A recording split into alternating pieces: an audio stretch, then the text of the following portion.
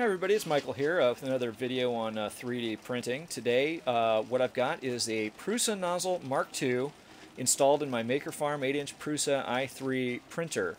And uh, this all-metal hot end, I gotta say, is uh, this is everything a hot end could possibly be, I think.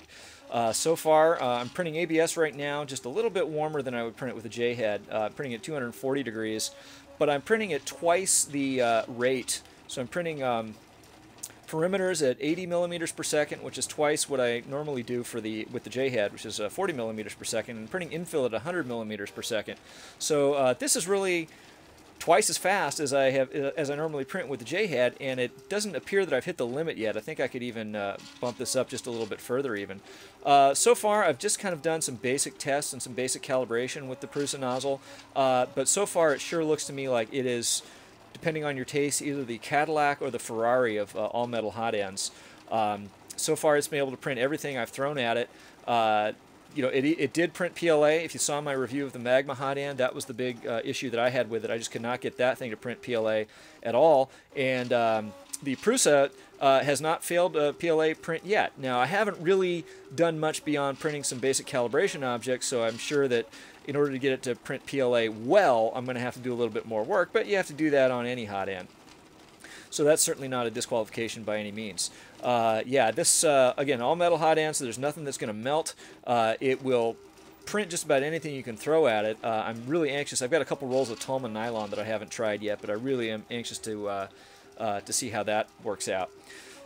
Uh, right now, it does have the 20 millimeter fan that does need to be on all the time, which is a pretty common feature of uh, just about any um, all metal hot end. And if you saw the unboxing video, you saw that this hot end shows up essentially completely assembled. You just put the heater block onto the nozzle and tighten down one bolt and you're ready to mount it. Now, on the topic of mounting, uh, this, is, this is actually pretty important. If you bought a uh, Makerfarm Prusa i3 with the J-head, uh, and it's mounted with this mounting plate right here. This is a 6 millimeter laser cut plywood uh, mounting plate for the custom J-head that comes with the with the printer. That's not going to fit on the Prusa.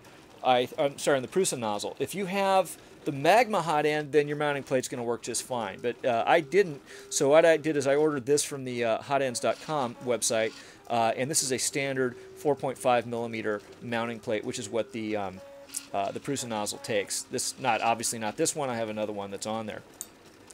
So uh, right now, uh, what can I say? It looks like it's printing very quickly, very accurately. Uh, you may be wondering what that uh, micro switch is that's right next to the fan on there that is completely obscuring the view of the Prusa nozzle Mark II, which I promise is actually there.